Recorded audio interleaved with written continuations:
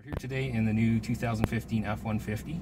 Ford's made it really simple up for us to change the time this year. So all you have to do is actually push the time.